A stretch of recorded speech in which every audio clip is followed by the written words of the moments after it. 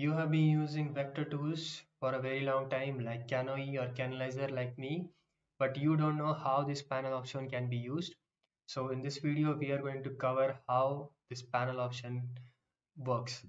So first of all we are going to learn how we can add a panel into this. So first of all it will be in the home page and the option will be here. So once once you click on this panel option there will be new panel option down below. So we just need to click on that and it will open a new tool which will be here in the tools like uh, panel designer tool will be opened. You can uh, come into the tools and click on this panel designer option or else you can go with our method like clicking on this panel and clicking on this new pan. And it will be open like this in a tool environment. And since this is our first time of using panel. We are going to design a panel to show rpm gauge uh, which will be a gauge type of panel. So as soon as our tool opens up we are going to add uh, analog gauge there. And we are going to assign a signal to that. And that panel will react to the signal value which we are giving through our integrated generator interactive generator block that is our IG block.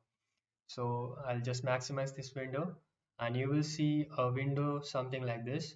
And since we are using uh, analog gauge we have to add this analog gauge which will be here in the toolbox. I'll just drag it here.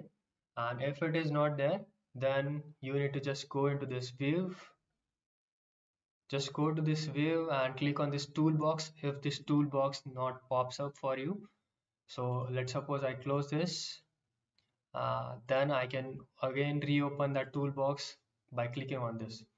So as you can see this analog gauge is here.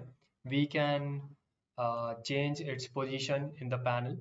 So since it is by default for millivolt you can change its property from here but uh, the first things first if we change these properties and then assign a signal then the panel will again take the values from the signal and it will be a mess. So first we first we will add attach a signal to it by using this option that is attach signal. But since we have not added any database our in our CANoe configuration so we have to add the database first and then only we can assign the signal. So we'll go to the CANoe then go to the simulation simulation setup and then open this CAN network CAN and this database. So I'll be adding my database. So my database is in D this work folder testing and I'll be using this temp bs6 database. So as soon as I open it I will go to panel designer again and then again I will go to this attach signal and since I've added my database it will be accessible from here. I'll go to frames and since we are going to be using an RPM gauge for our tutorial so I'll be using an RPM signal as an example which is here in EEC1 and engine speed. So as soon as I say OK you will see that some of the numbers and the color of the pa this panel has been changed.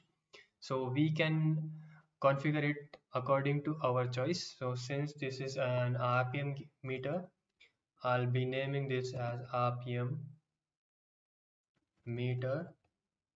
So you will see the text of this gauge has been changed.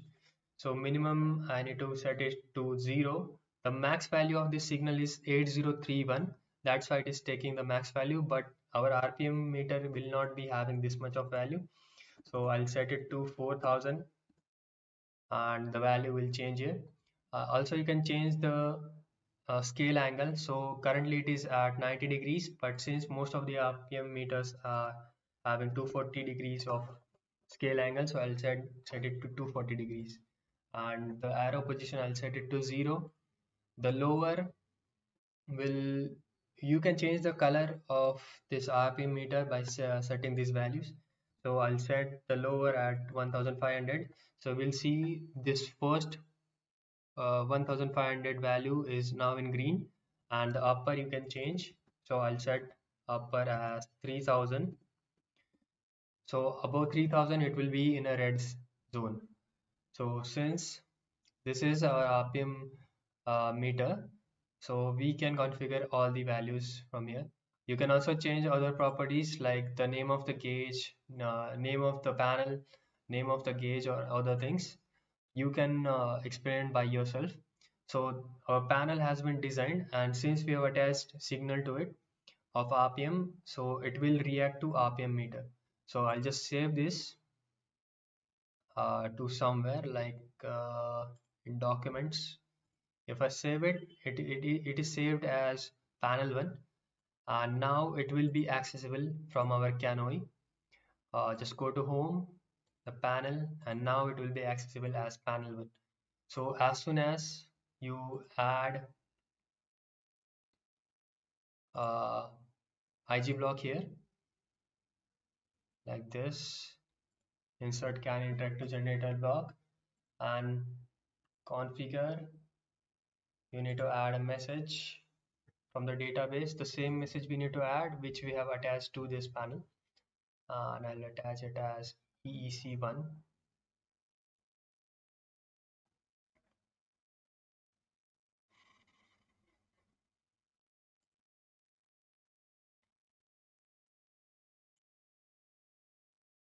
so since I'm not having any tool I'm not having any license of this CANoe it will not respond for me.